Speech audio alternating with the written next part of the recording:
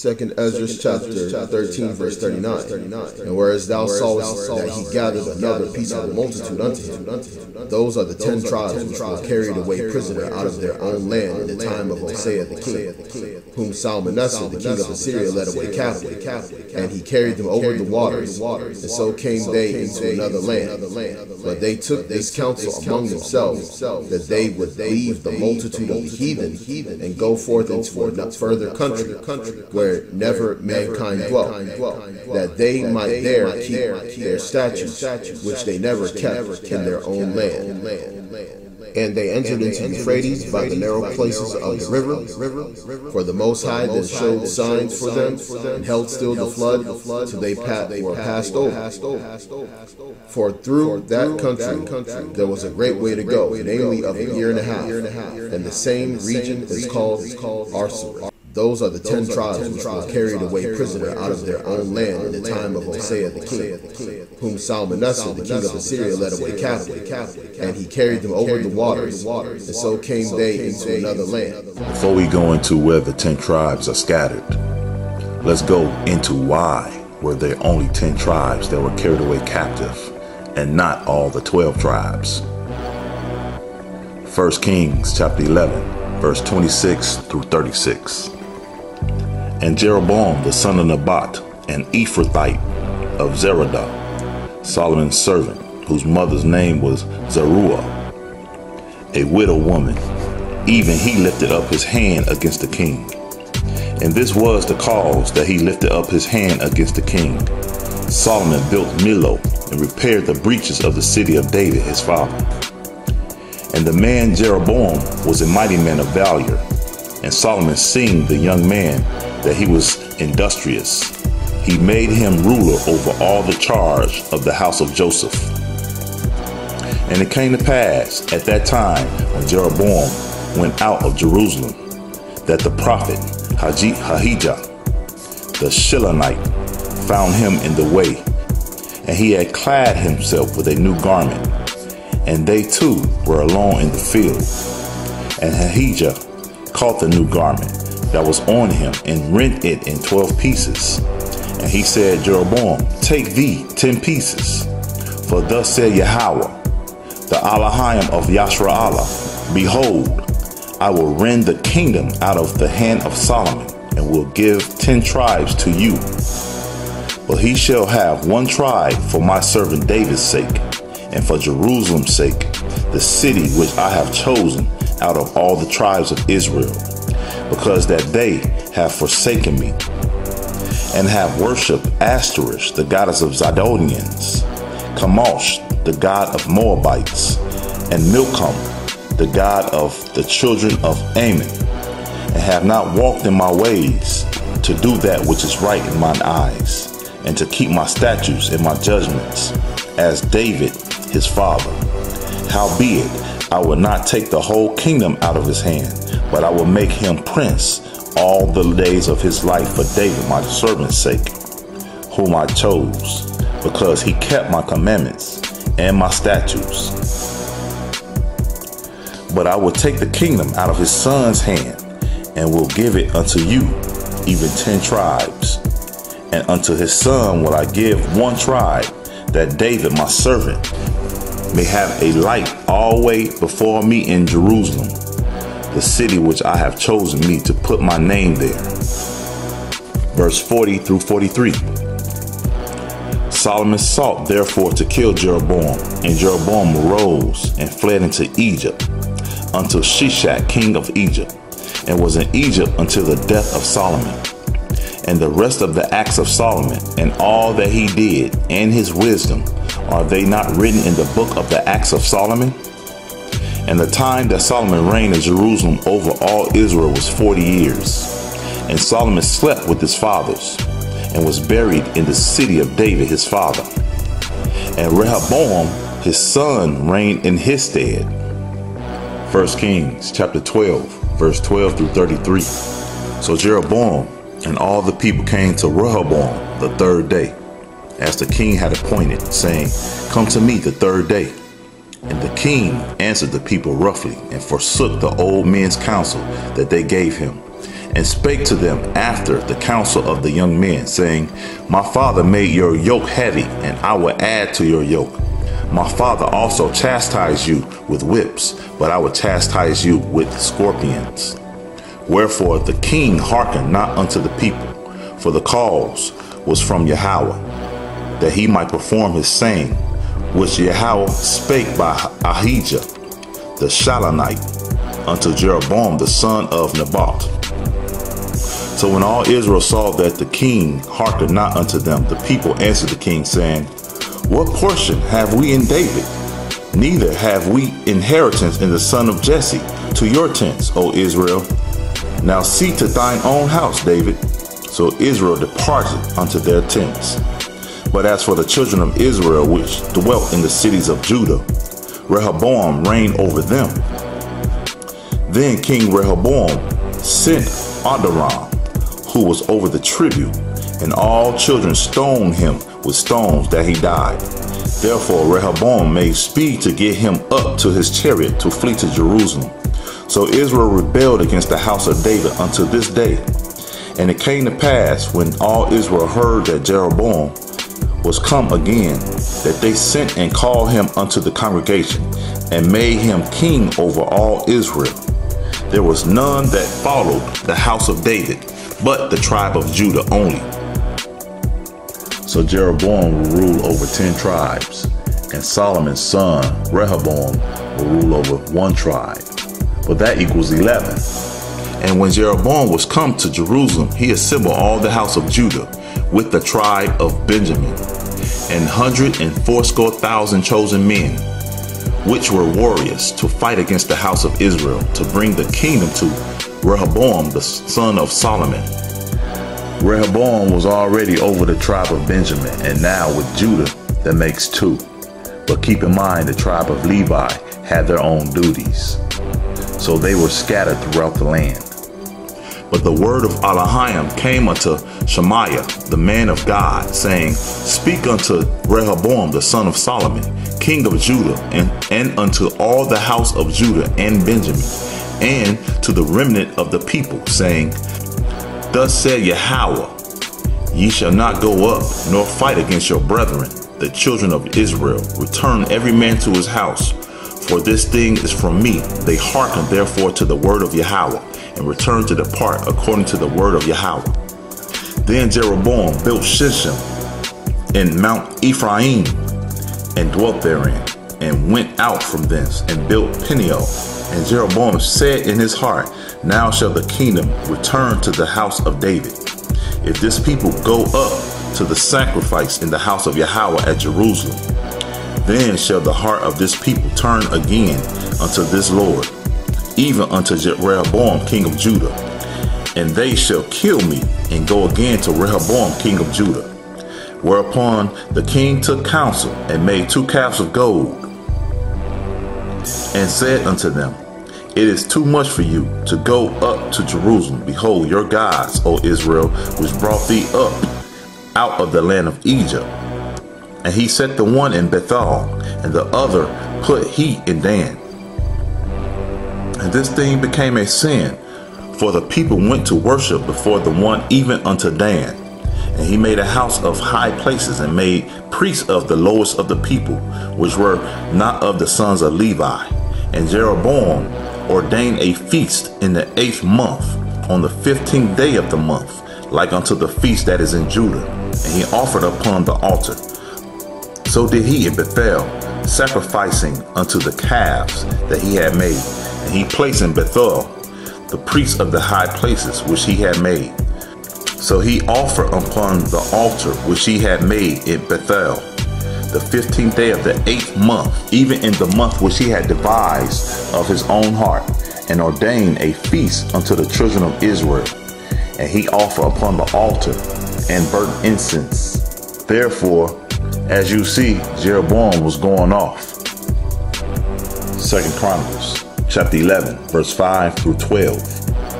And Rehoboam dwelt in Jerusalem and built cities for defense in Judah. He built even Bethlehem and Etam and Tekoa and Bethur and Bethzer and Shoco and Adullam and Gath and Mareshah and Ziph and Adoram and Lachish and Azekah and Zorah and Ajalon and Hebron, which are in Judah and Benjamin, fenced cities. And he fortified the strongholds and put captains in them, and store of victuals, and of oil and wine. And in every several city he put shields and spears and made them exceeding strong, having Judah and Benjamin on his side. Like I said before, these are the two tribes Rehoboam was over. And the Levites resorted to him throughout the land as well. Ecclesiasticus chapter 47, verse 21 through 25. So the kingdom was divided, and out of Ephraim ruled a rebellious kingdom. But Yahweh will never leave off his mercy, neither shall any of his works perish. Neither will he abolish the posterity of his elect, and the seed of him that loveth him. He will not take away. Wherefore he gave a remnant unto Jacob, and out of him a root unto David. Thus rested Solomon with his fathers, and of his seed he left behind him Rehoboam, even the foolishness of the people, and one that had no understanding, who turned away the people through his counsel. There was also Jeroboam the son of Nebat, who caused Israel to sin, and showed Ephraim the way of sin. And their sins were multiplied exceedingly, that they were driven out of the land. For they sought out all wickedness till the vengeance came upon them. Hosea chapter 1, verse 1. The word of Yahweh that came unto Hosea, the son of Beeri, in the days of Uzziah, Jotham, Ahaz, and Ezekiah, kings of Judah, and the days of Jeroboam, the son of Joash, king of Israel. Why were the ten tribes carried away into Assyria as captives? Chapter 4, verse 16 through 19. For Israel slided back as a backsliding heifer. Now Yahweh will feed them as a lamb in a large place. Ephraim is joined to idols. Let him alone. Their drink is sour. They have committed whoredom continually. Her rulers with shame do love. Give ye. The wind hath bound her up in her wings, and they shall be ashamed because of their sacrifices. Hosea chapter 5, verse 3 through 13. I know Ephraim and Israel is not hid from me. For now, Ephraim, you commit is whoredom, and Israel is defiled. The tribe of Ephraim went whoring after other gods, and the remaining nine followed suit. They will not frame their doings to turn unto their Elohim, for the spirit of whoredoms is in the midst of them, and they have not known Yahweh. And the pride of Israel doeth testify to his face. Therefore shall Israel and Ephraim fall in their iniquity. Judah also shall fall with them. They shall go with their flocks and with their herds to seek Yahweh, but they shall not find him. He hath withdrawn himself from them. Cry aloud at Bethaven. After thee, O Benjamin. Ephraim shall be desolate in the day of rebuke. Among the tribes of Israel have I made known that which shall surely be. The princes of Judah were like them that removed the bound. Therefore I will pour out my wrath upon them like water. Ephraim is oppressed and broken in judgment because he willingly walked after the commandment. Therefore will I be unto Ephraim as a moth, and to the house of Judah as rottenness. When Ephraim saw his sickness, and Judah saw his wound, then went Ephraim to the Assyrian and sent to the king Jareb. Yet could he not heal you, nor cure you of your wound. The ten tribes were carried away captive into Assyria, and the remaining two were carried away captive into Babylon. Hosea chapter 7, verse 1 through 11. when I would have healed Israel, then the iniquity of Ephraim was discovered, and the wickedness of Samaria. For they commit falsehood, and the thief cometh in, and the troop of robbers foiled without. And they considered not in their hearts that I remember all their wickedness. Now their doings have beset them about. They are before my face. They make the king glad with their wickedness, and the princes with their lies. They are adulterers, as an oven heated by the baker, who seasoned from raising a after heat that kneaded the dough until it be leavened. And the day of our king, the princes have made him sick with bottles of wine. He stretched out his hand with scorners. For they have made ready their heart like an oven, whilst they lie in wait. Their baker sleepeth all the night, and the morning it burneth as a flaming fire. They are all hot as an oven, and have devoured their judges, and all their kings are fallen. There is none among them that calleth unto me. Ephraim, he has mixed himself among the people. Ephraim is a cake not turned. Strangers have devoured his strength, and he knoweth it not. Yea, gray hairs are here, and there upon him, yet he knoweth not. And the pride of Israel testifieth to his face, and they do not return to Yahweh their Elohim, nor seek him for all this.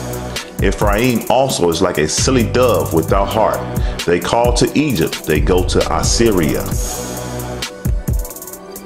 Hosea chapter 8, verse 1 through 14.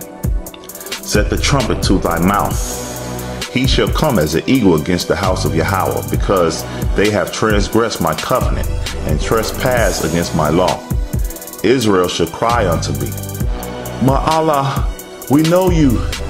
Israel hath cast off the thing that is good. The enemy shall pursue him.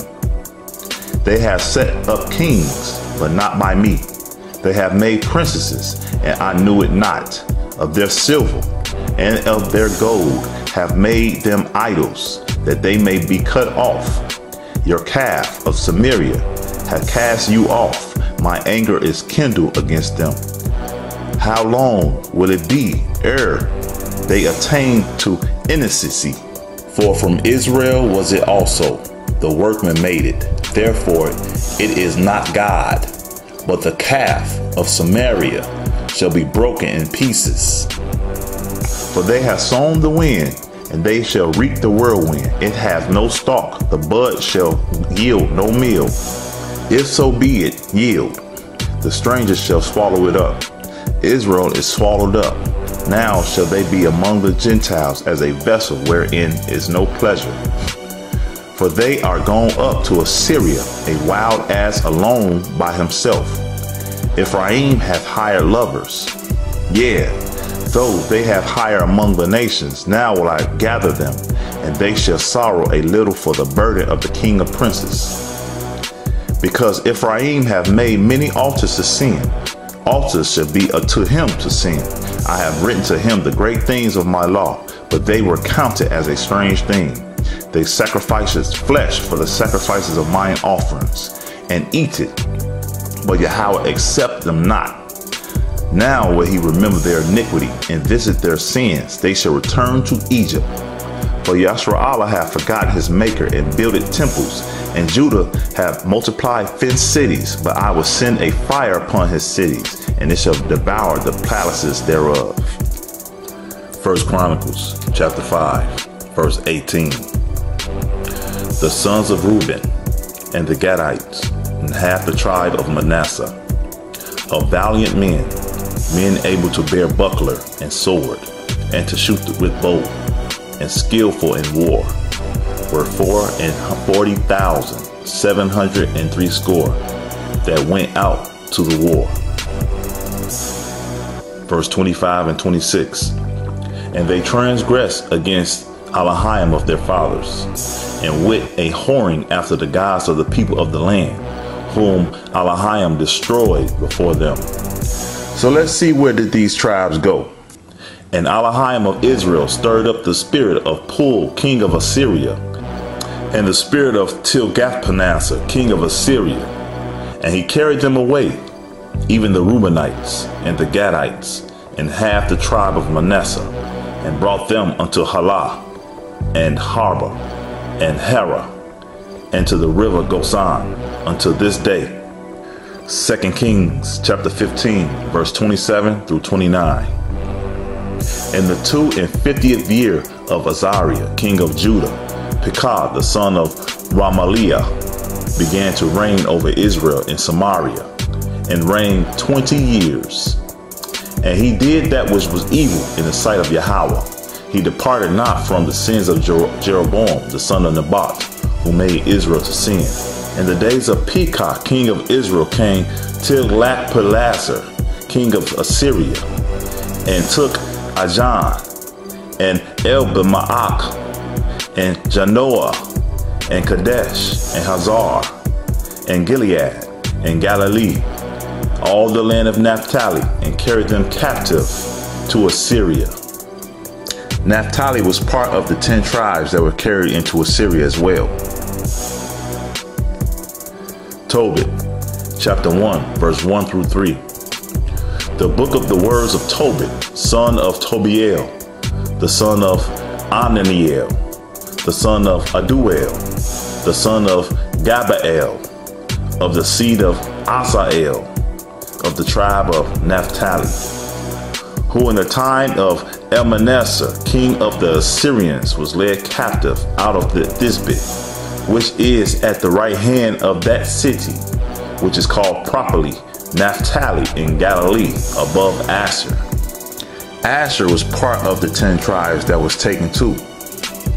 I, Tobit, have walked all the days of my life in the ways of truth and justice, and I did many alms deeds to my brethren and my nation, who came with me to Nineveh, into the land of the Assyrians. Nineveh was a capital city in Assyria. 2 Kings chapter 17, verse 1 through 12. In the twelfth year of Ahaz, king of Judah, began Hoshea the son of Elah to reign in Samaria over Israel nine years. And he did that which was evil in the sight of Yahweh, but not as the kings of Israel that were before him. Against him came up Shalmaneser, king of Assyria, and Hosea became his servant and gave him presents. And the king of Assyria found conspiracy in Hosea, for he had sent messengers to So king of Egypt, and brought no presents to the king of Syria, as he had done year by year. Therefore, the king of Assyria shut him up and bound him in prison. Then the king of Assyria came up throughout all the land and went up to Samaria and besieged it three years.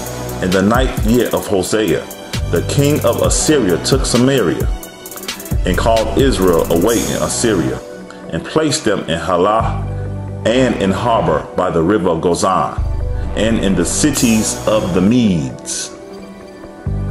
For so it was that the children of Israel had sinned against Yahweh their Elohim, which had brought them up out of the land of Egypt, from under the hand of Pharaoh, king of Egypt, and had feared other gods, and walked in the statues of the heathen, whom Yahweh cast out from before the children of Israel, and of the kings of Israel, which they had made.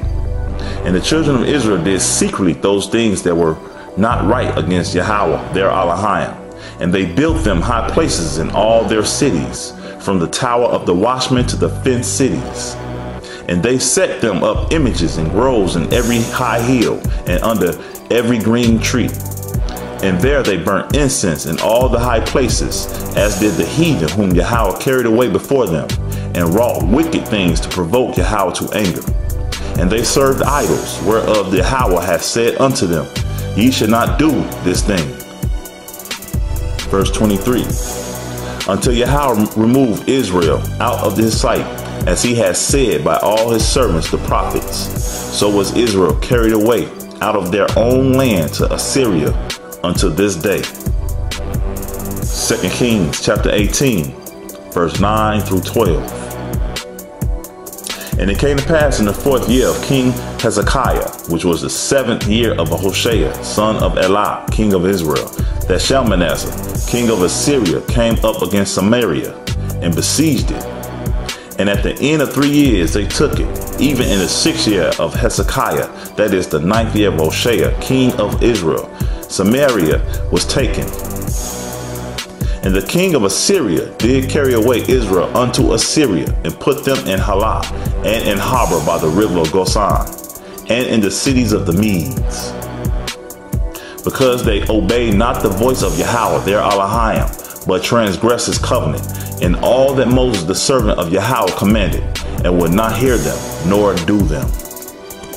I hope all were edified on why the children of Israel were split in half, and why the northern kingdom, which consists of the ten tribes, were carried away captive into Assyria.